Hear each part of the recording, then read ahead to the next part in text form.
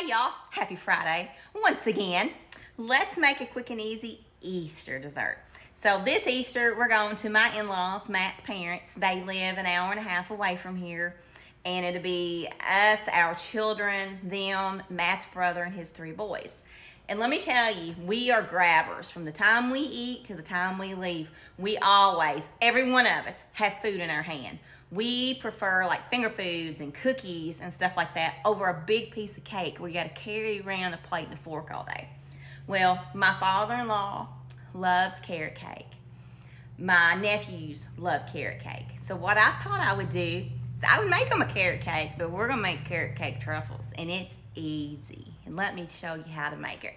First thing you do is you get you a carrot cake cake mix. I have a confession. I'm a Duncan Hines woman. I love their carrot cake. Guess what? Nobody underneath the sun had one here. So I got Betty Crocker, which is fine. It still tastes good. It's just not Duncan Hines. And I cooked it, just like the back of the box said, in my 9 by 13 pan. I let it cool for an hour, then I just cut it up into pieces, just like this, little squares. And I put it in my bowl. Got my hands clean and my jewelry off. To this, we're adding one package of room temperature cream cheese.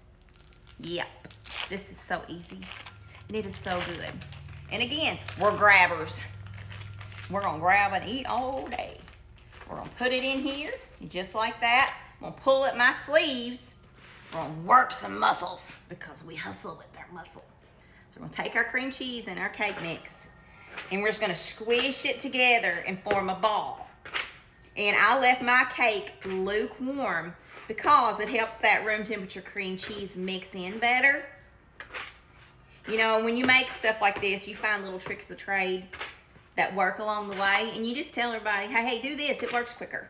I'm all about easy and quick anymore because life's crazy, especially when you're a wife and a mama. So this is what it looks like. I almost got it mixed up. Once that took me a minute. So we're gonna get it really incorporated. And you're gonna form you a ball. See? We're gonna stick this in the refrigerator for a couple hours and let it get cold. I'm not gonna cover it up. I'm just gonna stick my bowl in there, probably on top of my milk because my refrigerator's full. Once this is done, we're gonna roll it into balls. Then we're gonna dip it in white chocolate, and this is what I got, white almond bark.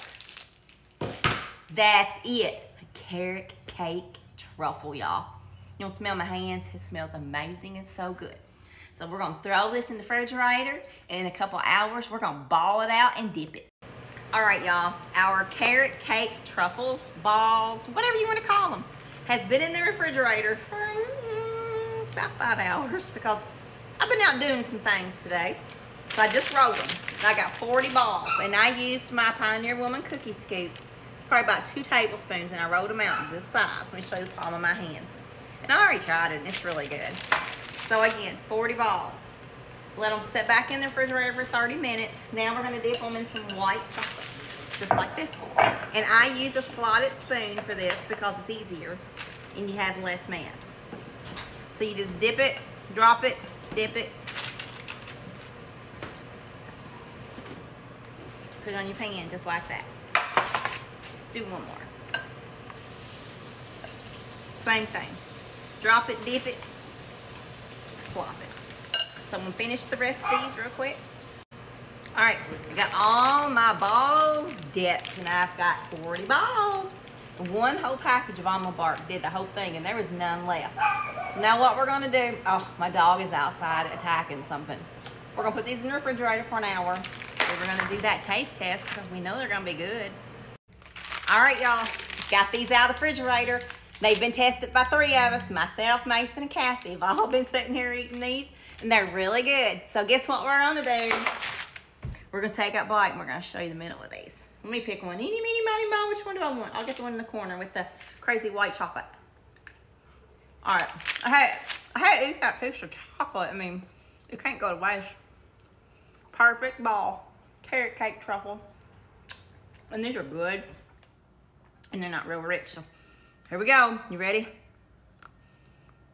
Mm-hmm. Look how moist and soft that is.